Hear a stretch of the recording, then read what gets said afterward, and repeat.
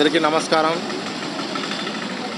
Triple one booth ఇన్ఛార్జిగా cement పోలన్నగా BCCL నగరాధ్యక్షుడుగా నాకు ఈ బాధ్యతలు ఉపజెప్పిన ఆదినారాయణ పెద్దలు నా తోటి టీడీపీ కార్యకర్తలు తెలుగుదేశం పార్టీ ఆదేశాల మేరకు శ్రీ వైకుంఠ ప్రభాకర్ చౌదరి ఆదేశాల మేరకు ఈ వార్డులో ఇంటింటికి తిరిగి పట్టుపద్ధతుల్ని బలోపేతం చేస్తూ వాళ్ళకు చెప్పి కొన్ని కారణాలు కొన్ని ఉద్దేశాలు చెప్పి వాళ్ళు బలపరచడం జరుగుతుంది. అదేవిధంగా చాలామంది పట్టుభద్రులు కూడా రిటైర్డ్ అయిన వాళ్ళు ఆల్రెడీ రన్నింగ్లో ఉన్నోళ్ళు కూడా గవర్నమెంట్ ఏం చేస్తుంది ఏం చేయలేదనేది కూడా మాకు అందరికీ తెలిసిన విషయమే. మీరు ఎక్కడ ఇంటింటికి రాకపోయినా కానీ ఇంటింటికి వచ్చినా కానీ ఖచ్చితంగా మేము వేసే వాళ్ళకే ఖచ్చితంగా వేస్తాము.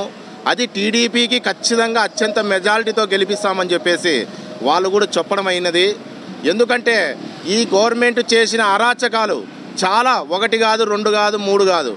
పేద ప్రజల కాటి నుంచి ఎంతో ఉన్నంత స్థాయిలో చదువుకున్న ఉద్యోగస్తులకు కూడా చాలా తీవ్రమైన అన్యాయం చేసింది. కాబట్టే చాలామంది కసిగా ఉన్నారు. ఓటు రూపంలోనే వీళ్ళకి బుద్ధి చెప్పాలని చెప్పేసి వెయిటింగ్ చేస్తున్నారు. రాబోయే రేపు నెల పదమూడో తారీఖు ఖచ్చితంగా ఓటుతోనే మేము బుద్ధి చెప్తామన్నా మీరేం టెన్షన్ పడద్దండి. ఎవరైతే మనకి బలపరిచినారో భూమిరెడ్డి రామ్ భూపాల్ రెడ్డిని ఖచ్చితంగా అత్యంత మెజార్టీతో గెలిపించే బాధ్యత మేము కూడా తీసుకుంటామని చెప్పేసి పట్టుభద్రులందరూ చెప్పడము మాకు చాలా సంతోషకరము.